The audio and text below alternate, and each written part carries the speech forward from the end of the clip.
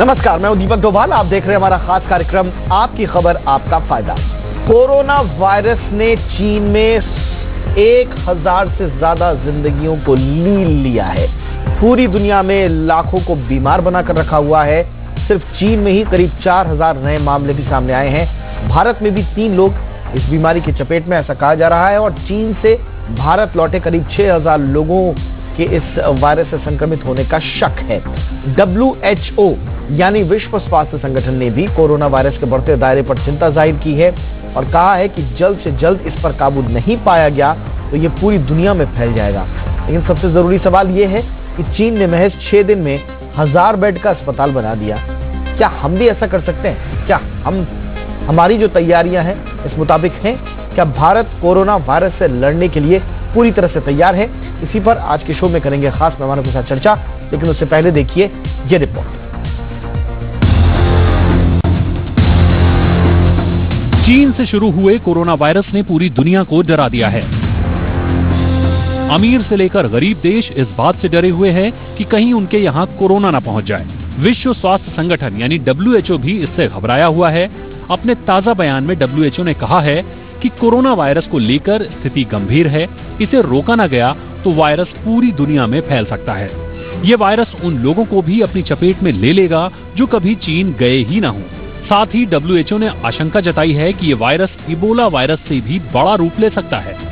स्थितियों का सही जायजा लेने के लिए डब्ल्यूएचओ की एक टीम चीन में मौजूद है। चीन में हालात कितने गंभीर हैं, इसका अंदाज़ा सिर्फ़ इस बात से ही लगा सकते हैं कि चीनी सरकार ने लूनर न्यू ईयर हॉलीडे को 10 दिनों के लिए और बढ़ा दिया है। कोरोना वायरस ने अब तक चीन में एक हज़ार से ज़्यादा लोगों की जान ले ली है। चालीस हज़ार से ज़्यादा लोग इससे पीड़ित हैं। चीन में हाल ही में तीन हज़ार से ज़्यादा नए मामले सामने आए हैं। वुहान शहर के करीब करीब सभी लोगों की जाँच की गई है। स्कूल, कॉलेज, ऑफ़िस बंद हैं और लोग घरों से काम कर रहे हैं। सड़कों पर आवाजाही ना के बराबर है। जो लोग घरों से निकल भी रहे हैं, मुँह पर मास्क लगाकर। अगर बात भारत की करें तो तीन लोग इस वायरस की चपेट में हैं। दस बड़े एयरपोर्ट्स पर चीन से आने वाले लोगों की थर्मल स्कैनिंग की जा रही है। चीन से लौटे करीब 6000 लोगों में से कईयों को ऑब्जर्वेशन में रखा गया है।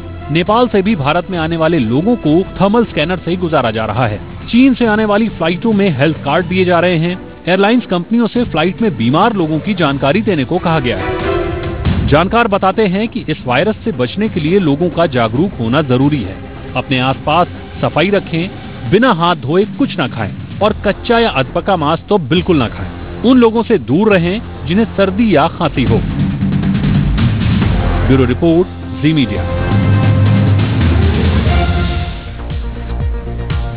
जी हाँ तो कोरोना का बार और क्या हम हैं इसके लिए तैयार? यही है हमारा आज का सवाल और हम इसके लिए इस पर चर्चा करने के लिए हमारी तैयारियाँ क्या है? भारत की तैयारियाँ क्या है?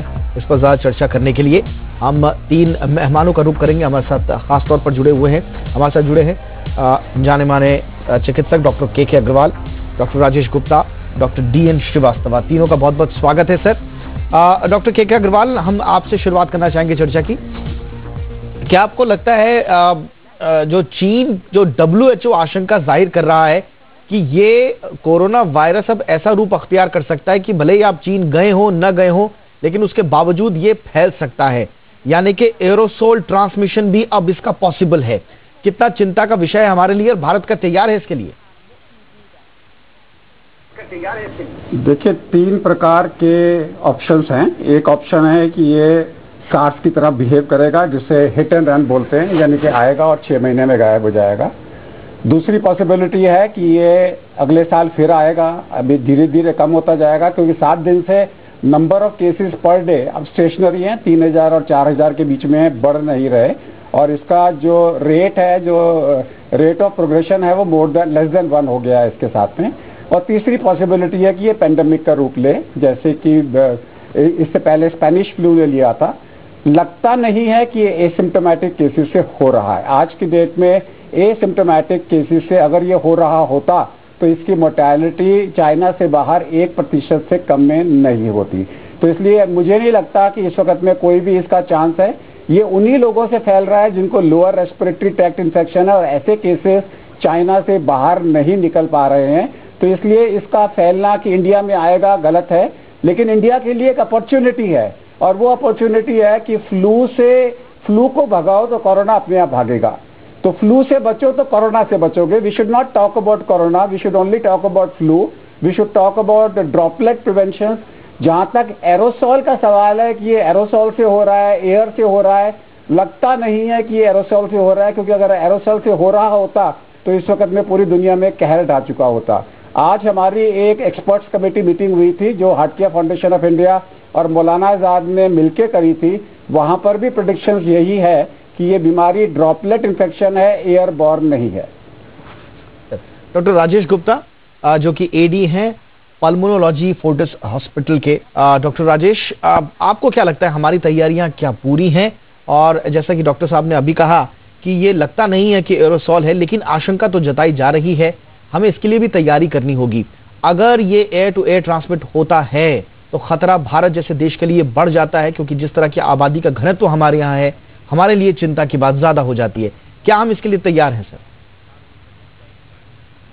आ, मैं डॉक्टर के के अग्रवाल की बात से इतफाक रखता हूँ। एरोसोल और ड्रॉपलेट का फ़र्क समझें तो ड्रॉपलेट बड़े पार्टिकल्स होते हैं जो जल्दी सतह पर बैठ जाते हैं और एरोसोल ज़्यादा देर तक हवा में रहते हैं यानी उसकी इन्फेक्शसनेस ज़्यादा होती है। अगर एरोसोल स्प्रेड नहीं हो रहा है तो फिर इसके बहुत ज़्यादा फैलने के चांसेस नहीं होंगे। दूसरा आ, सवाल ये कि क्या हमारी तैयारी है?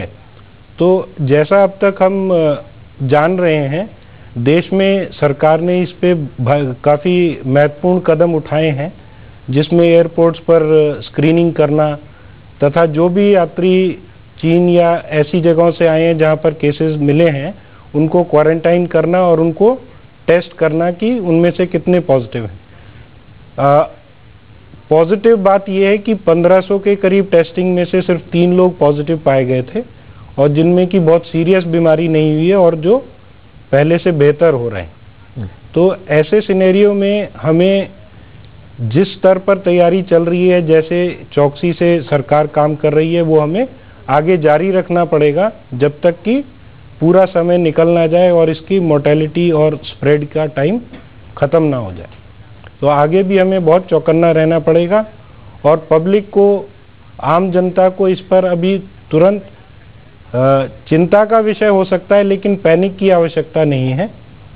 क्योंकि हम जो सिंपल मेथड्स हैं, जो बहुत ही साधारण तरीके हैं, जिसको कभी भी खांसी आए तो वो टिश्यू पेपर या रुमाल यूज़ करें या वो भी नहीं है तो अपनी स्लीव में खांसें। और एरोसोल या ड्रॉपलेट जो भी मेथड है उसको फैलने से बचाएँ। समय समय पर हाथ धोते रहें, साबुन से 20 सेकंड के लिए या फिर अल्कोहल बेस्ड हैंड रब का इस्तेमाल करें। पब्लिक कांटेक्ट एक दूसरे से बहुत क्लोज कांटेक्ट्स अवॉइड करें। और हमारे हिंदुस्तान में तो बहुत अच्छा तरीका एक दूसरे को ग्रीट करने का, नमस्ते से। तो हाथ मिलाने की बजाय नमस्ते करें और डिस्टेंस मेंटेन करें, ये बहुत इंपॉर्टेंट है। इसी से काफ़ी हद तक इसकी स्प्रेड रुक जाएगी। बिल्कुल सर, जैसा आपने सजेस्ट किया है, ये बार बार मीडिया के थ्रू सोशल मीडिया के थ्रू तमाम संचार माध्यमों के थ्रू सरकार भी और सरकारी एजेंसियाँ भी ये बताने की कोशिश कर रही हैं कि आप कैसे कोरोना से बच सकते हैं। लेकिन डीएन श्रीवास्तव आप जाने माने हेल्थ एक्टिविस्ट हैं। आप बताइए कि अब भारत का जो समाज है और जो हमारी दिनचर्या है उसमें तो हम कांटेक्ट में एक दूसरे के आते हैं मुंबई में हम लोकल्स की बात करें चाहे वो दिल्ली में मेट्रो की बात करें क्या कोरोना को लेकर वो सीरियसनेस अभी लोगों में दिखाई दे रही है? या ऐसा तो नहीं है कि जब हम किसी बड़ी घटना की का इंतज़ार कर रहे हैं? साहब, देखिए, यही मैं सबसे पहले बताना चाहूँगा कि गवर्नमेंट अपनी तरफ़ से जो मेजर्स ले रही है, वो सुनने में बहुत अच्छा लग रहा होगा कि हाँ बहुत अच्छा क्वारंटाइन एरिया बना दिया गया है और वहाँ पे जो पेशेंट्स आ रहे हैं, उनको अलग करके रखा जा रहा, आइसोलेटेड रखा जा रहा।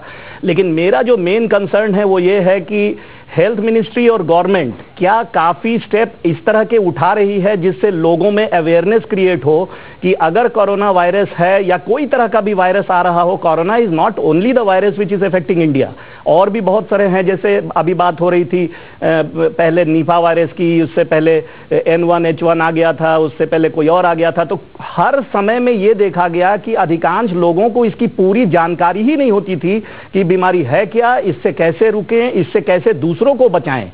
और सबसे बड़ी बात, जैसे डॉक्टर साहब ने अभी बताया कि आप सब साफ़ सफ़ाई रखें अपने आसपास। अपना हाथ धो के जाएँ। आदमी खुद अपना तो कर सकता है, लेकिन सरकार क्या अपने काम को पूरा पूरी तरह से अपनी निगरानी में कर रही है? हमारे ही घर के आसपास लाजपत नगर कोटला, मुबारकपुर, साउथ एक्सटेंशन, अगर आसपास जाके देखें तो वहाँ कूड़ेदान में आज भी टनों कूड़ा पड़ा रहता है, रात को भी, दिन को भी, चारों तरफ़ फैला हुआ होता है। क्या उससे इन वायरसेस को रोका जा सकता है? क्या इनके एम्प्लॉयज़ ठीक से वहाँ पे काम कर रहे हैं? क्या इनके ऑफिसर्स वहाँ पे ठीक से सफ़ाई की मॉनिटरिंग कर रहे हैं? सब स्वच्छता अभियान आपने चला दिया, उससे क्या आपको लगता है कि सफ़ाई हो गई?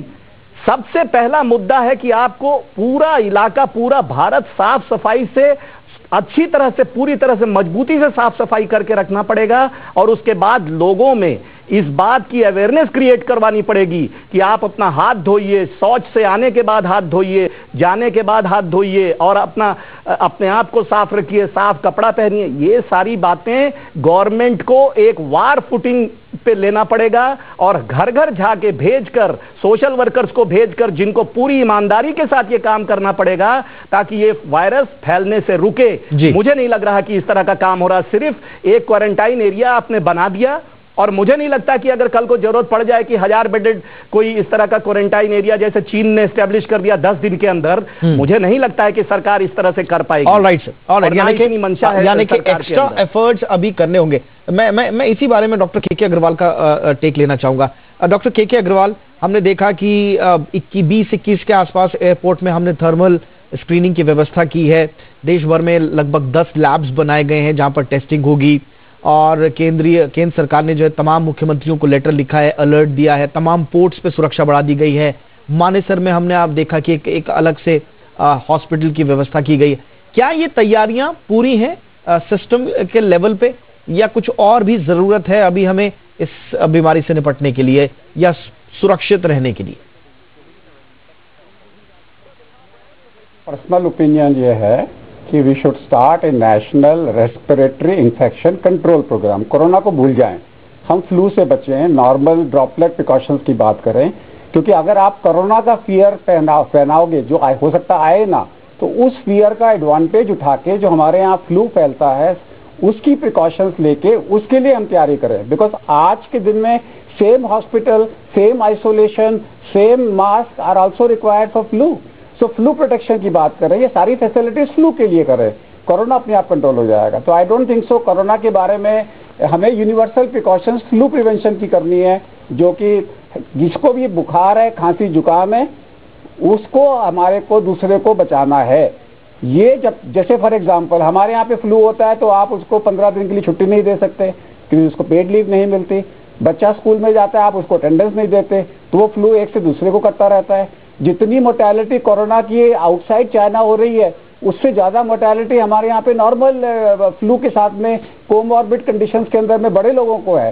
तो इसलिए ज़रूरत है एक ऐसे प्रोग्राम की हमारे देश के अंदर में, जहाँ पे हम कोई भी वायरस हो, चाहे वो कोरोना हो, चाहे वो सार्स हो, चाहे वो मर्स हो, चाहे वो दूसरे टाइप के कोरोना वायरसेस हो, चाहे वो एच वन एन वन हो, सबसे बचा जा सके।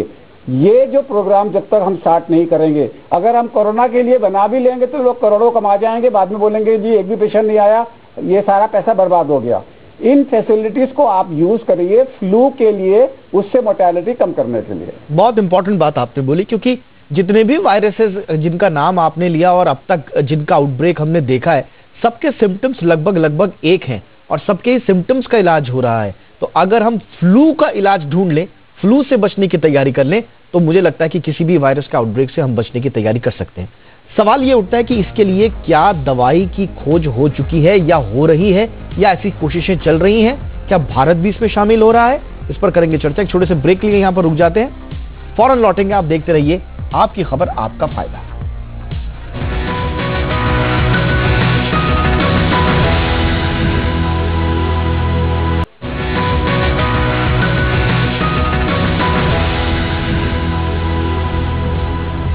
कोरोना का वार, हम कितने हैं तैयार? भारत क्या कोरोना से लड़ने के लिए तैयार है? अब तक तो जो तैयारियाँ हैं, वो रंग लाई हैं। हमने इसे रोकथाम करने में अब तक कामयाबी पाई है। लेकिन जिस तरह की आशंका डब्ल्यूएचओ ज़ाहिर कर रहा है कि ये उन लोगों में भी फैल सकता है जो लोग चीन न गए हों। तो अगर इस तरह की कोई स्थिति आती है तो क्या उससे निपटने के लिए हम तैयार हैं? किसी अनहोनी को शुरुआत में ही उसे बेदम करने की क्या पुख्ता तैयारियाँ भारत में हैं? इसी पर कर रहे हैं आज चर्चा। हमारे साथ मेहमानों का पहल लगातार मौजूद है। डॉक्टर राजेश गुप्ता, मैं आपके पास आना चाहूँगा। थाईलैंड ने कुछ दिनों पहले ये दावा किया कि हमने साहब कोरोना वायरस की जो है, वो दवा ईजाद कर ली है। हालाँकि उसका धरातल पर कितना उस सच्चाई है, उस बारे में अभी तक पुख्ता जानकारी नहीं मिल पाई है।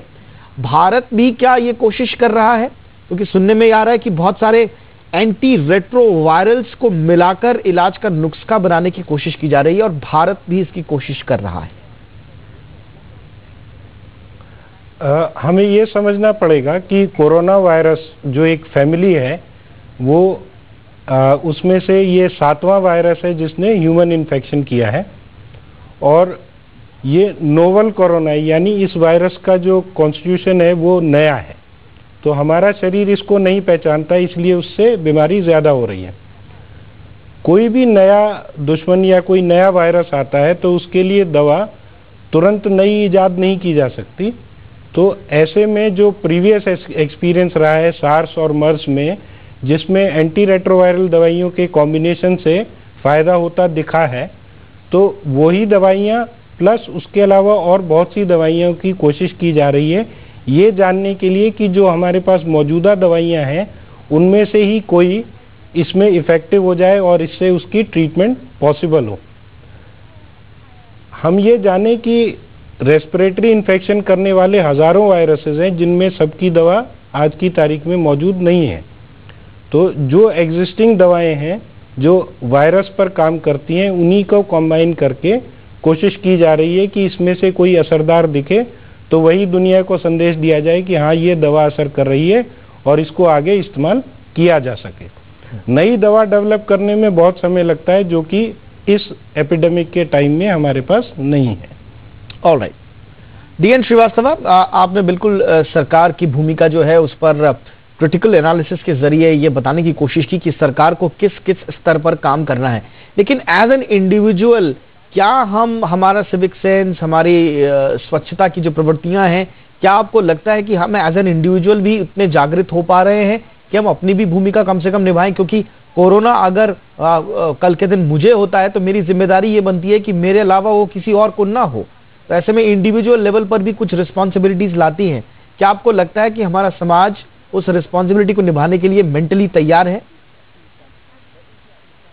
सर मेंटली बिल्कुल तैयार है। हमारे समाज में हर आदमी चाहता है कि दूसरे को, किसी को कोई बीमारी उससे ना पकड़े। लेकिन आप मुझे छोटी सी बात बताइए। स्कैनिंग हो रही एयरपोर्ट पे जहाँ पैसेंजर्स आ रहे हैं, वहाँ स्कैनिंग हो रही, बीमार है कोई या ना है, या इन्फेक्टेड है कि नहीं है। आप मुझे ये बताइए All India Institute of Medical Sciences हो आरएमएल हो, या कोई भी एक हॉस्पिटल हो, जहाँ मरीजों का तांता लगातार लगा हुआ है, डॉक्टर अग्रवाल भी कह रहे हैं कि ये आपस के संपर्क से बढ़ता है इन्फ्लुएंजा या फ्लू बढ़ता है, और इसी तरह डॉक्टर राजेश गुप्ता भी बता रहे हैं कि आपस के संपर्क से बढ़ता है, वहाँ पेशेंट कंधे से कंधा मिला के चल रहा है, मुँह से मुँह लगा के बात कर रहा, खड़े होने की जगह नहीं है। और सरकार को इस बात की सुध नहीं है कि भाई आप एक अच्छे क्वालिटी का मास्क हर पेशेंट को लगाओ और उसके बाद उसको हॉस्पिटल में एंट्री दो ताकि एक दूसरे से संपर्क ठीक हो और उससे ये वायरस फैलने में कामयाब ना हो सके। सरकार अपनी भूमिका कहाँ पे सही निभा रही है? शुरू से आज तक आप देखिए, किसी भी जगह पर ना किसी पेशेंट को मास्क दिया जाता है, ना उसके किसी तरह के हाइजीन का केयर लिया जाता है। हॉस्पिटल में जो आओ, घुस जाओ, एक दूसरे के संपर्क में रहो, बैठे रहो, दिन भर वेट करते रहो और आपस में आप उसको कंटेमिनेट नहीं कर रहे क्या? आप मुझे बताइए कि क्या यह ज़िम्मेदारी मेरी बनती है कि मैं जाके लोगों को मास्क बांटू कि भाई तुम मास्क लगा के अंदर जाओ, एक दूसरे पेशेंट के साथ संपर्क में मत रहो ताकि ये फैले ना? कितना प्रैक्टिकल है।